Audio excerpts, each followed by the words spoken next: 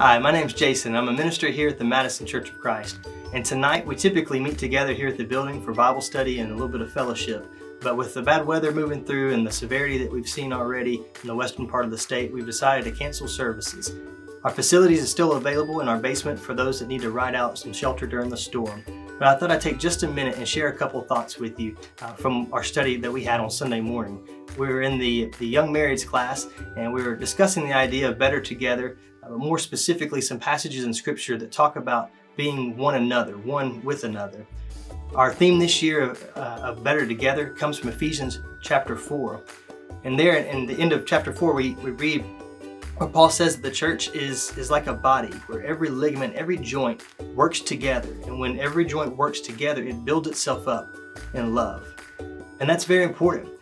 Basically, what he's saying here, if I can borrow a phrase from Bill Belichick and Nick Saban, do your job.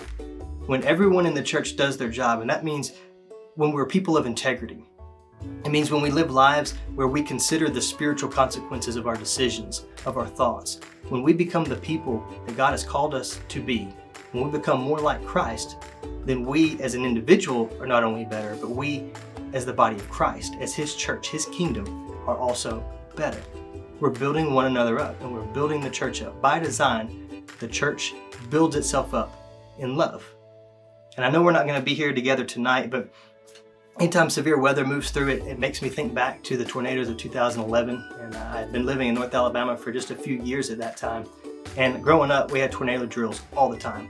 And personally, I'm afraid to say this, but I didn't really take them seriously. I saw them as an opportunity to get out of class and hang out with my friends and, and uh, you know, just kind of hang out and talk in the hallway.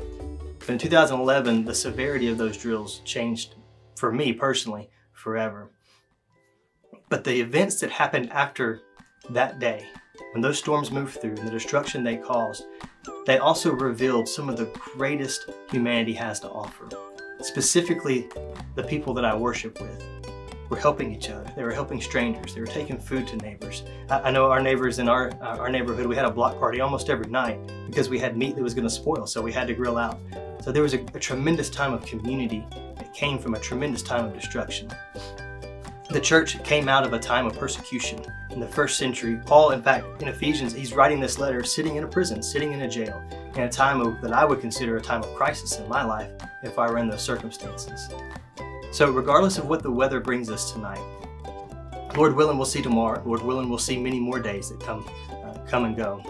But regardless of what circumstances we find ourselves in, if I'm living the life that I'm called to live, and that is a person that has integrity, a person that, that cares about morality, a person that cares about other people, that sacrifices. Most importantly, a person that takes the Word of God seriously, that puts the Scriptures at the heart of who I am as a person. And in chapter 1, Paul says that Christ has been given as head of the body.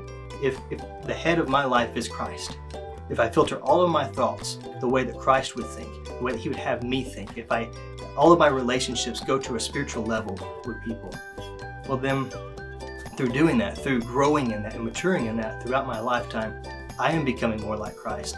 And I'm a part of that process of building up the church. So I'll leave you with this. One, I hope to see you soon. And two, always remember that when you're part of the body of Christ, we are better together. And that's by design. That's by God's design. Lord willing, we'll see you on Sunday. Have a great night.